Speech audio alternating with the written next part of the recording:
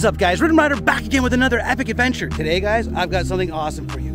We are at an abandoned boat graveyard. Now, my understanding is that this whole place will get redeveloped eventually, but I'm not sure why it was abandoned, if it was sold, when it was sold, or whatever. This is something Zay found, but anyways guys, let's check it out.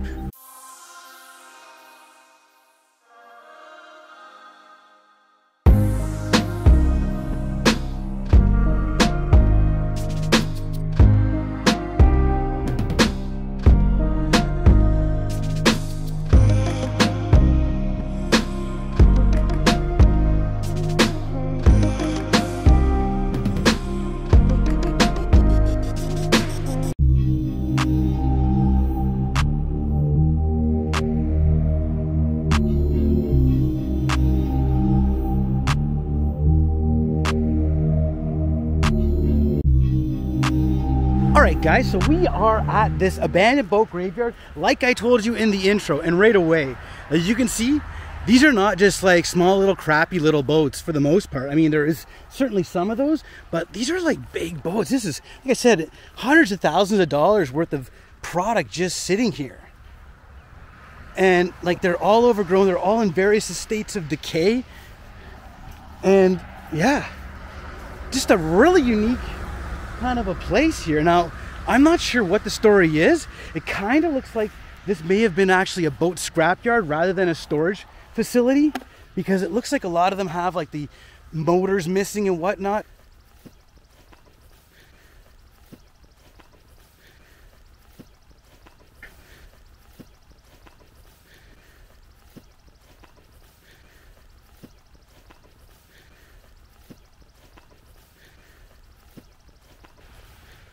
And you gotta love boat names. You got Quickly over there. What's this one over here? Out of out to sea looks like, but S E E. Geez, there's little tiny fellas around, but there's also these massive, massive boats. I mean, in this day and age with the price of fuel, I'm not surprised. I wouldn't be surprised if we see more of these. Because boating is an expensive sport. But yeah, you can see, guys. So it looks like people come here, and like I said, it's like a scrap yard for boats because this one's mostly intact, but the motor is completely gone. You can see there, and it seems for the like the most part, the motors are all gone out of these things. So people are just you know ripping parts out to rebuild what they already have. Look at this, so post-apocalyptic.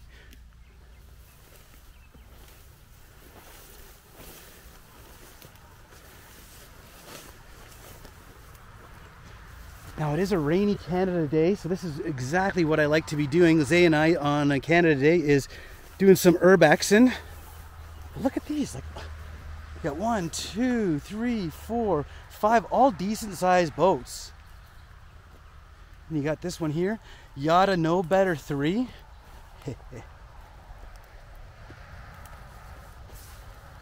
What's this one called? Electric Cur Electric Currency. Oh his bayliner there. But like even look at this big boat up there. You can see it's kind of the top's all been pu pulled off of it. So again, like I said, it's definitely like a scrapyard. But the thing that's really neat is that there's so many intact boats. Meaning like you go to scrapyards often, you see like just little bits of cars left behind. But this is friggin' wicked.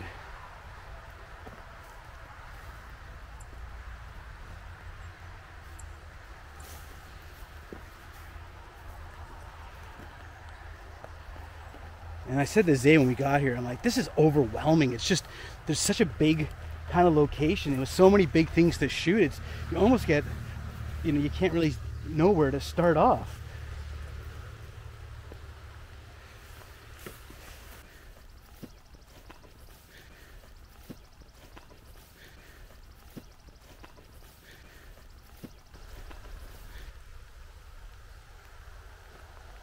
The Endeavor right there.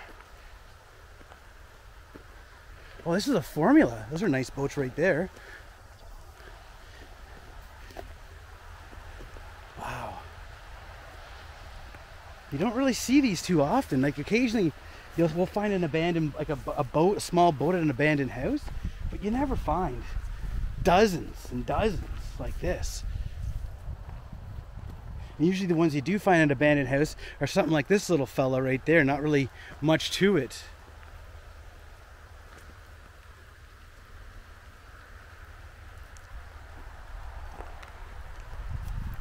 Man, I'm hoping this rain stops. I really want to get some drone shots of this place. That's why I came here, specifically for the drones, mostly.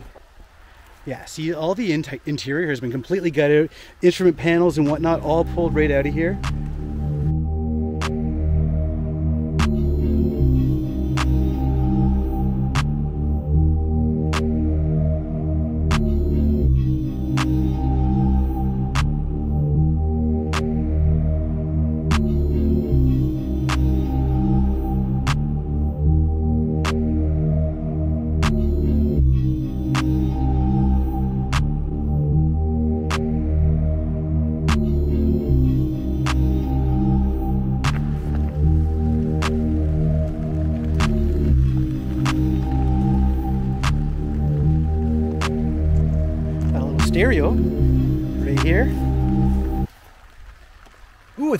Reverse. Fancy.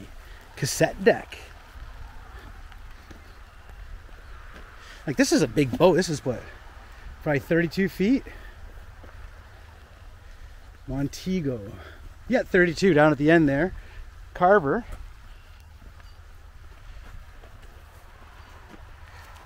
And like, look at this great big boat over there just on a wicked lean.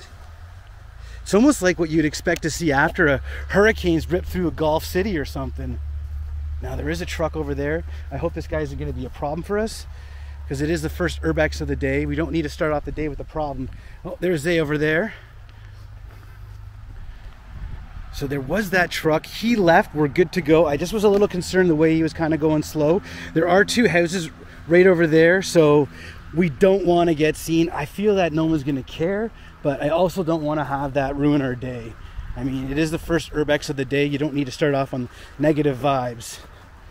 You see, there's this crab dump here too, so I can't see anybody really caring. But look at this.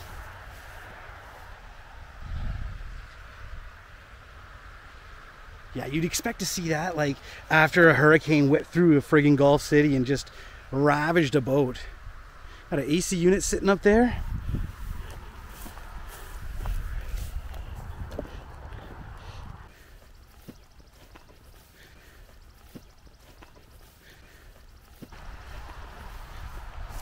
Just so cool. Such a unique spot.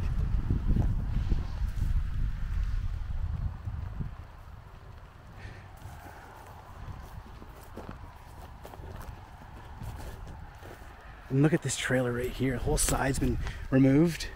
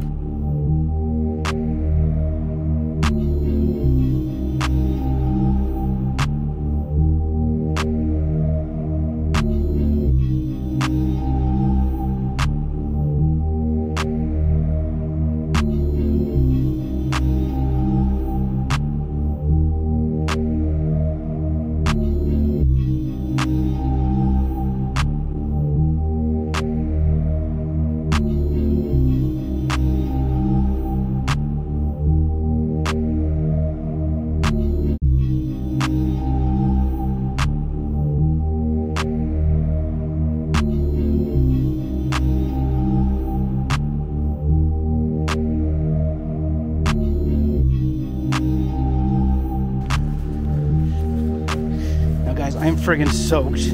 My pants are friggin' just drenched. I should have been wearing shorts, but my legs get ravaged by the, the weeds and the bugs.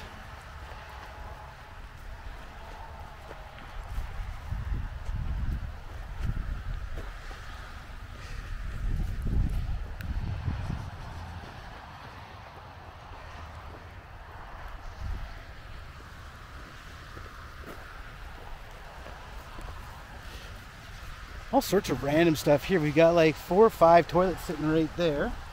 You got an oven over there.